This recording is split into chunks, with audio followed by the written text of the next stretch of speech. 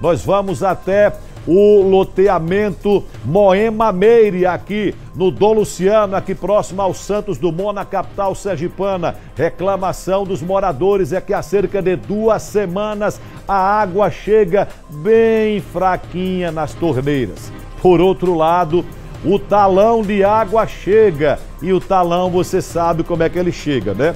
O talão chega com toda a força o talão não para de chegar lá no Moema Meire, mas a água chega bem fraquinha. A assessoria de comunicação da DESO informou que o morador precisa observar a altura em que a caixa d'água se encontra.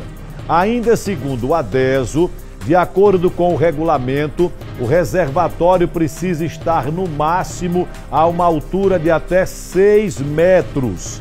A nota da DESO diz também que o morador pode abrir um chamado por meio do número 4020 0195.